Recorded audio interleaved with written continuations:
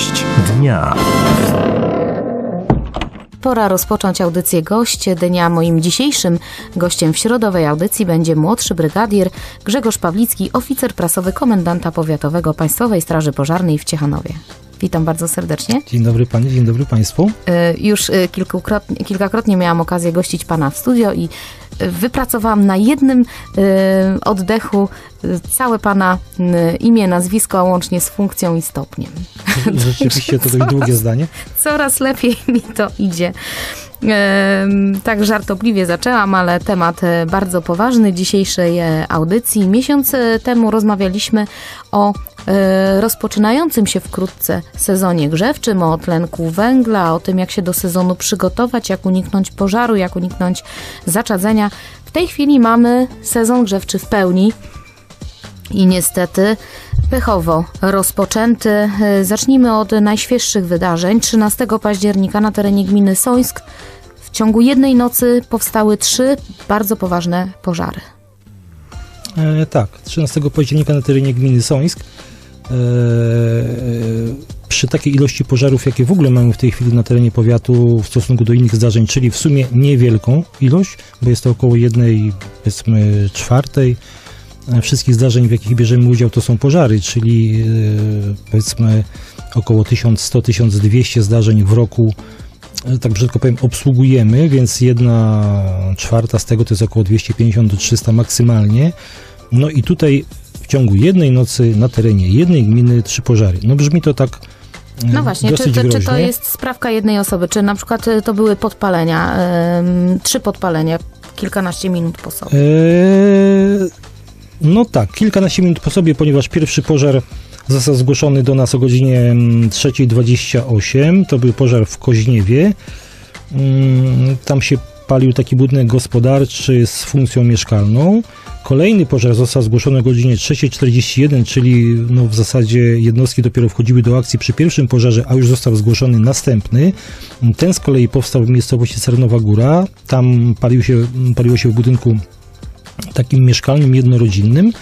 No i e, dwie godziny później, troszkę więcej, e, 6.47 w miejscowości Bieńki Śmietanki e, zostaje zgłoszony pożar e,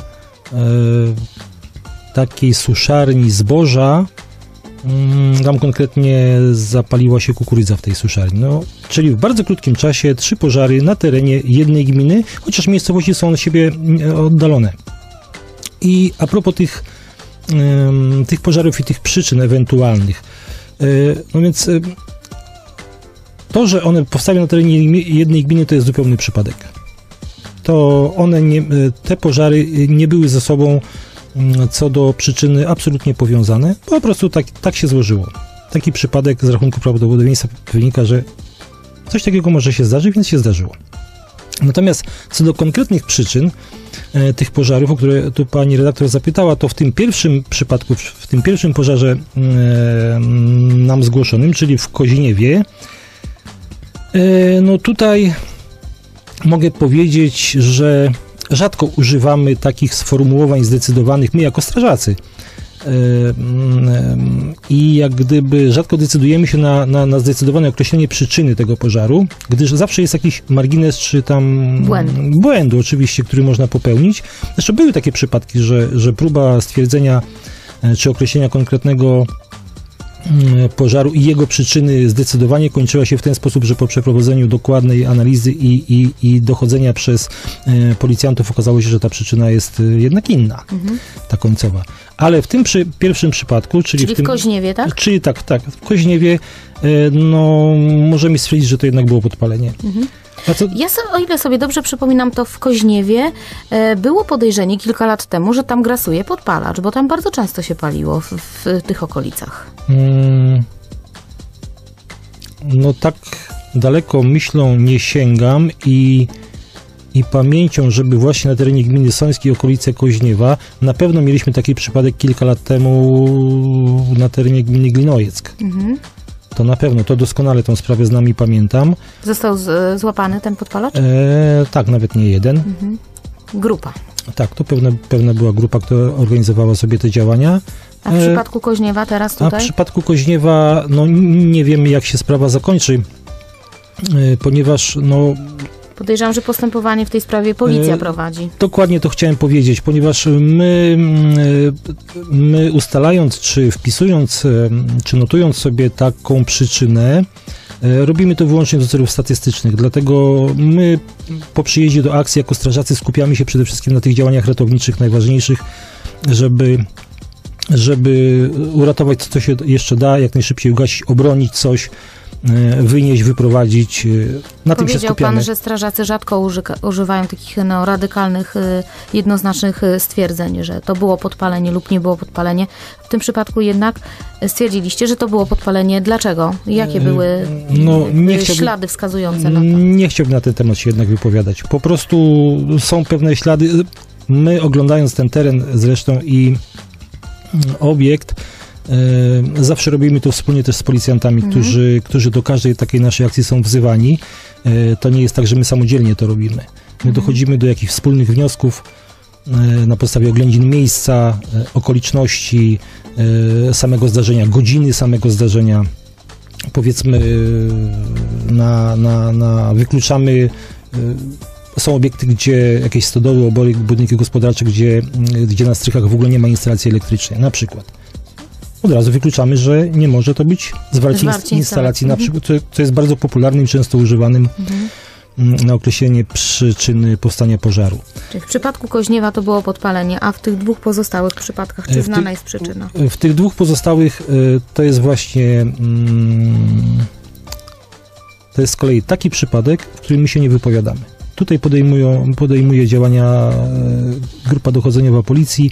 Oni prowadzą dochodzenie e, według własnych procedur, e, natomiast my mm, nie uczestniczymy w tym, że tak powiem, i my tylko to wyłącznie do celów statystycznych, orientacyjnie coś sobie wpisujemy do, do naszej statystyki, co mogło ewentualnie by być przyczyną tego pożaru, czego nie wykluczamy, o powiedzmy tak. Nie wykluczamy takiej przyczyny, ona jest z okoliczności, z oględzin e, wynika, że to jest prawdopodobna i my zawsze, zawsze jeśli się na, na wypowiadamy na temat przyczyn, to mówimy lub e, piszemy, że jest to przyczyna prawdopodobna, ale nie ostateczna. bo- Zostawmy już przyczyny pożaru, e, Nie jest- tych my- trzech pożarów Ja- policji. Ja tylko jeszcze e, dopowiem, że my jako, jako Straż Pożarna nie mamy w ogóle uprawnień do, do takich e, określeń i do zdecydowanych stwierdzeń. Nie jesteśmy, mówiąc krótko od tego, nie jesteśmy służbą do tego powołaną.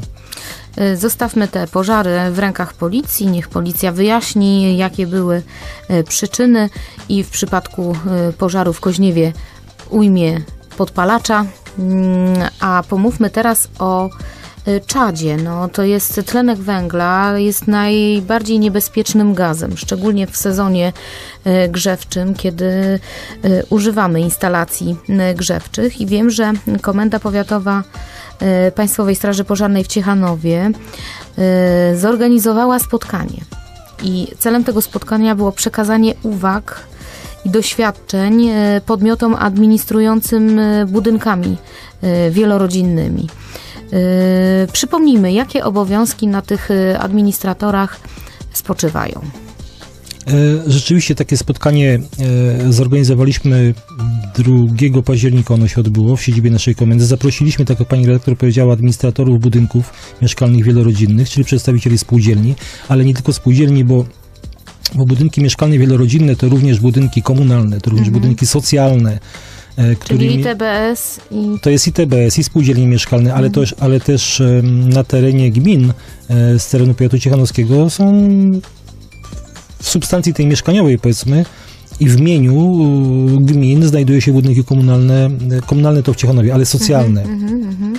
Praktycznie prawie każda gmina ma, ma większą lub mniejszą ilość takich budynków e, socjalnych, bo takie są po prostu potrzeby. No, są osoby, które nie mają gdzie zamieszkać, z z różnych przyczyn tracą mieszkanie, no I to gmina gminy- odpowiada za bezpieczeństwo tych e, mieszkańców tych bloków socjalnych, E, prawda? Tak, bo jest, bo jest e, albo właścicielem, albo zarządzającym Mhm. takimi budynkami, więc, e, więc a zawsze to wynika z przepisów z ustawy o ochronie przeciwpożarowej wynika, że za stan bezpieczeństwa takiego budynku, czy w tym budynku, odpowiada właściciel lub administrator tego budynku. Mhm. I dlatego, dlatego my to spotkanie zorganizowaliśmy, żeby tym właścicielom i administratorom Przypomnieć. przypomnieć e, i przekazać pewne uwagi, nasze jakieś e, wieloletnie doświadczenia, szczególnie dotyczące dojazdów do tych obiektów, e, bo to jest e, nie tylko w Ciechanowie, to jest coraz większy problem, żeby w ogóle dojechać do jakiegoś zdarzenia. Nie Droga pożarowa jest zwykle zastawiona. Droga pożarowa jest często zastawiona.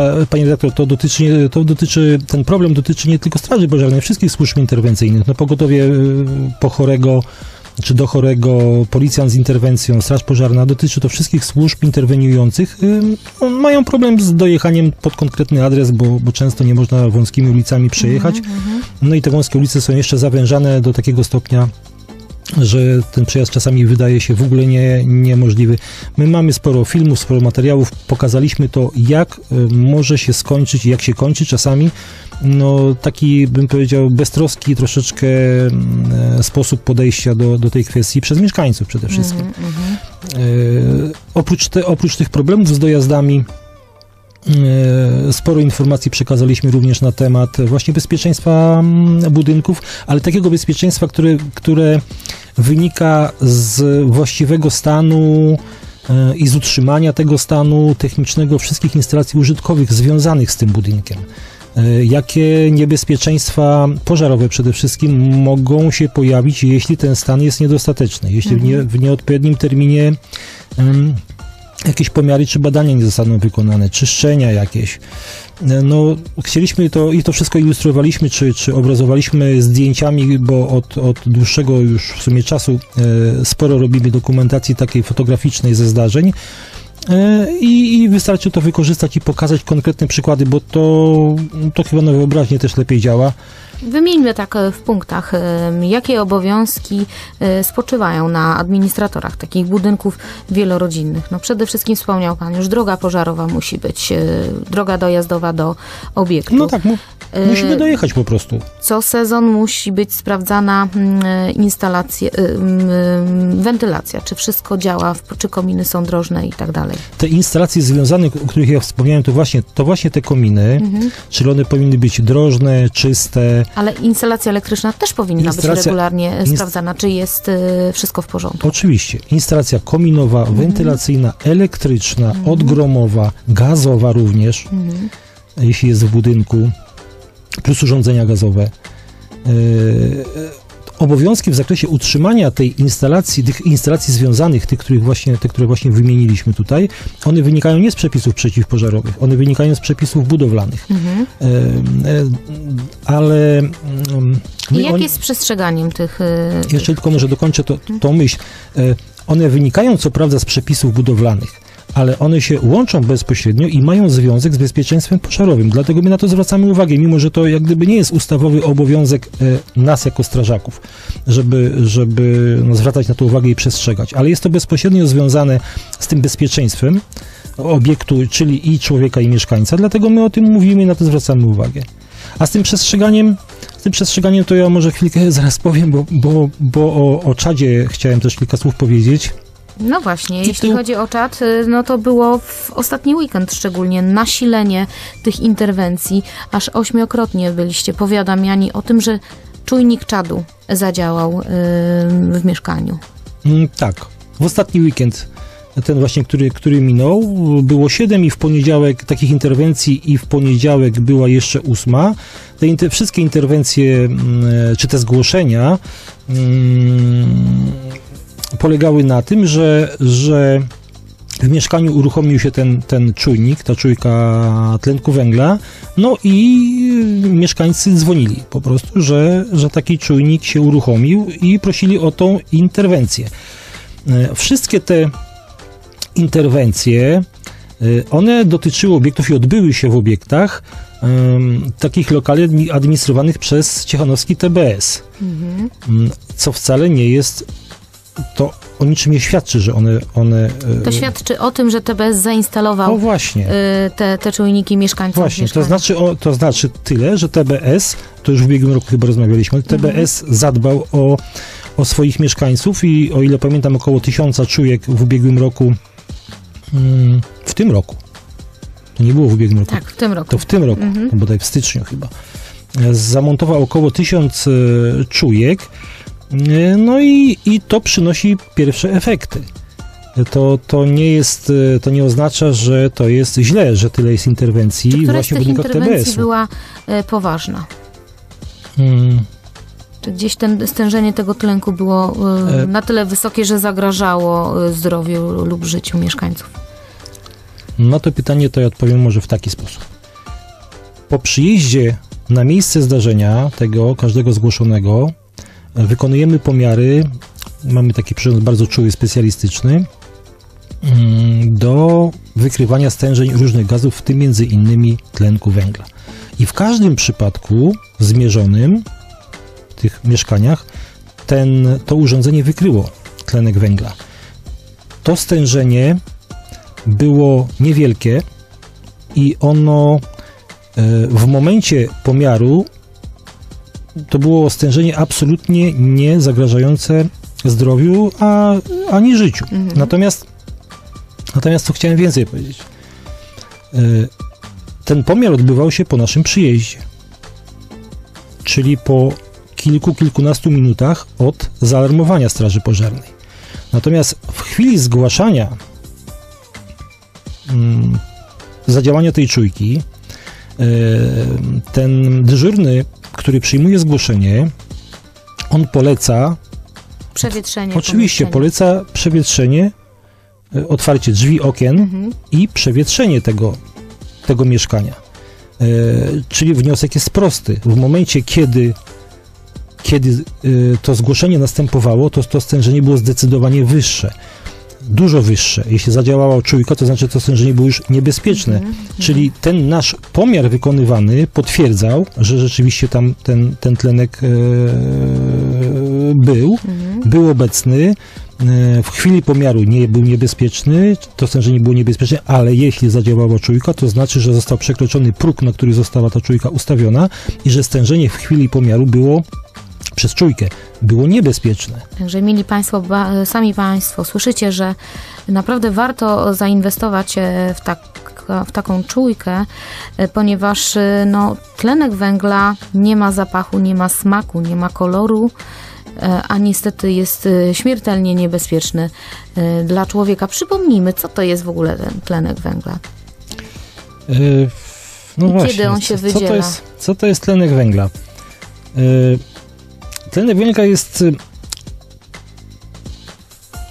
e, Ja może jeszcze podam, podam taką informację, że w takich liczbach bezwzględnych mm, w skali kraju tlenek węgla e, jest trzecią z przyczyn e, zatruć, poważnych zatruć Mhm. lub nawet śmierci po takich przyczynach jak alkohol i leki. E, A o zatruciach alkoholowych czy lekowych e, wiemy chyba troszeczkę jeszcze w tym momencie więcej, a o tym tlenku węgla mm, jeszcze chyba niedostatecznie dużo. A z Poza tym, mówię- e, jeśli chodzi o alkohol i leki, temu zatruciu ulegamy powiedzmy w miarę świadomie, natomiast Mm, nie wiemy, kiedy tlenek węgla się wydziela i kiedy właśnie. ulegamy zatruciu. To się może na przykład stać w czasie snu. E, no właśnie, ten tlenek węgla mm, jest takim, e, no znowu powtórzę, to już wielokrotnie powtarzamy, że jest taki cichy zabójca, bo jest to, bo jest to gaz taki, no niezwykle niebezpieczny, bo jest niewyczuwalny zmysłami człowieka. Mhm. To jest Więc- gaz, który się wydziela e, wtedy, kiedy spalanie jest nieefektywne. Jest niepełny, tak, z, Mhm. z niedostatkiem tlenu. E, czyli, czyli ten gaz się, on, jest, on nie ma zapachu, on nie ma barwy. E, nie wyczujemy go również zmysłem smaku. Mhm. żadnym zmysłem nie jest ten tlenek węgla wyczuwalny, czyli Mhm. nie wiemy, czy on w ogóle, ani w jakim stężeniu jest się, y, nam się Mhm. y, wydziela. A takie podstawowe działanie to, to, to niebezpieczne dla człowieka, no to jest po prostu takie, że on blokuje dostęp tlenu do organizmu. Mhm. E, Tlenek węgla mm, wiąże się z krwinkami czerwonymi, które odpowiadają za transport e, tlenu po organizmie, blokują te krwinki czerwone i im większe stężenie tego tlenku, tym więcej krwinek zablokowanych. Więc tym mniej tlenu jest rozprowadzany po organizmie I po prostu ofiara tlenku węgla się dusi. Tak, to jest takie wewnętrzne uduszenie organizmu. Dusi Mhm. się. Po prostu to jest wewnętrzne uduszenie organizmu. To nie jest takie właśnie, jakby nam zabrakło powietrza, bo nie możemy go po prostu zaczerpnąć. Mhm. To jest wewnętrzne duszenie się takie, takie o, organizmu. Ile tlenek węgla potrzebuje czasu, żeby zabić człowieka? Yy, ile czasu? Wszystko zależy od stężenia i od stężenia tego tlenku węgla. Mhm. Yy, ja może powiem tak, że tu troszkę takie sprawy techniczne, nie wiem, czy to mm, nie będzie, ale, ale żeby coś wytłumaczyć, to właśnie dlaczego tak jest, a nie inaczej, to ja może powiem coś takiego. To stężenie tlenku węgla e, trzeba w jakiś, w jakiejś miarze mierzyć, prawda? Trzeba je w jakichś cyfrach pokazywać e, i stężenie tlenku węgla, mm, zresztą tak jak wielu gazów, Wiele, wiele gazów się w ten sposób y, określa, ich stężenie tych gazów, określa się w takiej miarze, która się nazywa ppm. ppm to jest taki skrót od, od angielskiego parts per million, czyli ile cząsteczek tego gazu znajduje się w decymetrze sześciennym Powietrza. powietrza. Mhm. E, to są te ppm. Ile, m, ile cząsteczek w, w decymetrze sześciennym mm, e, powietrza? I na milion cząsteczek powietrza, e, in, innego mm, tego Gazu? tego gazu. Mhm. E, Więc dla mm, e, e, Światowa Organizacja Zdrowia, czyli WHO, określiła, że e, takie, taka bezpieczna i dopuszczona mm, ilość czy stężenie tego, tego tlenku węgla przy przebywaniu w pomieszczeniu przez 8 godzin, a więc większość czasu, jakie spędzamy w pomieszczeniach normalnie, to jest 35 ppm-ów. Czyli 35 takich cząsteczek na milion. Mhm. To jest znikoma ilość naprawdę, to jest tylko 35 na milion, prawda? Więc e, to jest dopuszczone, tyle może być. E, chociaż w normalnych warunkach jego w ogóle być nie powinno, bo niby, no niby z jakiej racji, No, no prawda? bo skąd? No to, jest, to jest gaz, który normalnie nie powstaje i, i Nie funkcjonuje nie w funkcjonuje tak. środowisku. W środowisku jako samodzielny. Tl- Dwutlenek oczywiście, proszę bardzo, mamy go w tej chwili nawet tutaj mnóstwo. Mhm, mhm. Wydychamy dwutlenek zresztą nawet. Na, natomiast tlenek jako taki nie powstaje samodzielnie, więc y, nawet jeśli jest dopuszczone 35 pp- ppm, to skądś one się muszą brać, ale są dopuszczalne. Y, Natomiast y, taką pierwszą granicą, przy której już y, mm, u człowieka pojawiają się pierwsze objawy, to jest około 200 ppm. Mhm. To, czyli to jest 6 razy więcej, 6 razy większe stężenie niż dopuszcza e, norma ta Światowej Organizacji Zdrowia. Bo przy tych 200 ppm-ach e, może się już pojawiać jakiś lekki ból głowy, jakieś zmęczenie, ziewanie, bo zaczyna nam tlenu brakować tak naprawdę, e, ale to też nie natychmiast, tylko po jakimś czasie, pół godziny do Te godziny. objawy też mogą być przecież pomylone z, z Tak. czymś innym, prawda? No, generalnie jesienią chce nam się spać. Jest, Osłabienie, tak, przesilenie jest, jesienne dokładnie mówimy. jest osłabienie Tak, organizmu, mniej promieni słonecznych, Tak. więcej szarości. Gorsze samopoczucie, oczywiście. E, Nie są to właśnie, no właśnie, nie są to objawy bardzo typowe. Dokładnie. To są objawy podobne do, do, do właśnie innych, albo po prostu do zwykłego zmęczenia, no, no tym, co pani redaktor powiedziała. To, to, to, są, to są objawy, które mogą być mylone. Chociaż przy dłuższym narażeniu na tlenek węgla, ewentualnie przy wyższym jego stężeniu, powiedzmy już około 400 ppm, Występują omdlenia. e, tak, już powstanie ból głowy, Mhm. I to dość poważny może być ból głowy, mdłości, wymioty, osłabienie mięśni, nawet jakaś apatia. Czyli, a te 400 ppm to wcale nie jest rzadko, no, no może to być, i może to się zdarzyć, te 400 ppm. Ale już objawy będą na tyle nasilone, że powinny no, dać nam do myślenia, że to nie jest jednak e, bez powodu i bez przyczyny. Jeśli nie widzimy żadnej przyczyny, e, e, że tak powiem, wokół siebie, realnej, za to odpowiedzialnej, prawda? No nic się nie dzieje, natomiast my mamy takie objawy. Aha, to już jest. I rozumiem, że przy tym stężeniu 200 ppm y, te czujniki wykrywające tlenek węgla już wyją jak syreny strażackie.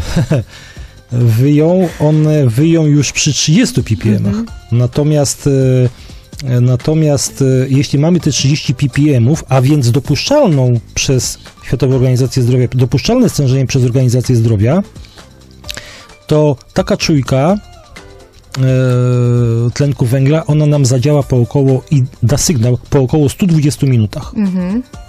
Bo pomimo, że nie jest to stężenie niebezpieczne, Ale, Ale- cały czas ten ale cały jest czas się tak, ale Mhm. cały czas się utrzymuje. Skąd się wziął? Nawet te 30 ppm, że normalnie, tak żeśmy tu sobie wyjaśnili, normalnie go być nie powinno.